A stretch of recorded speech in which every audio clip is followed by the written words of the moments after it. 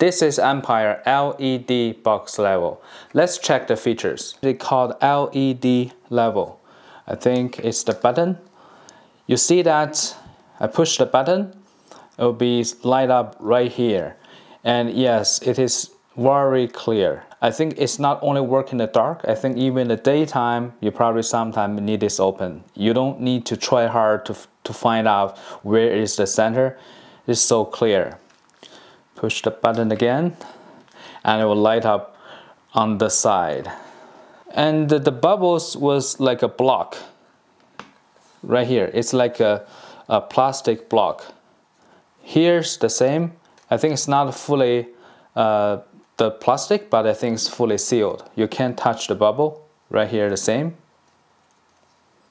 You want to turn it off? Just keep pushing it.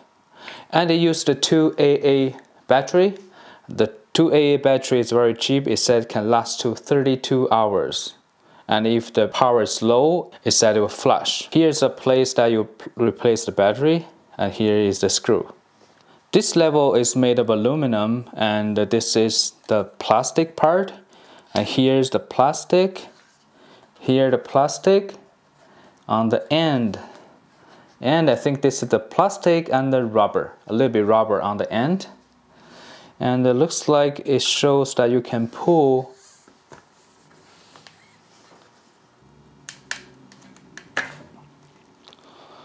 okay it said you can pull it out.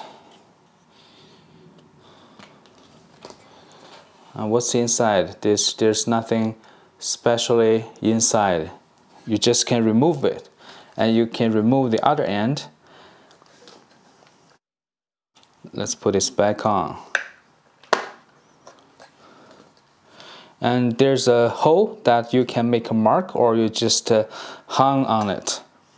Let's check if it is magnetic.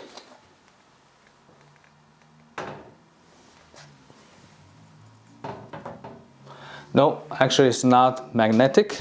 I think it is a good level. The build quality is good and you got the right size, right feel in hand and especially it got LED light. So I think it is the coolest feature for a level. No matter where you work you probably need this. It's super easy to read. And uh, I think this video is helpful. Thank you for watching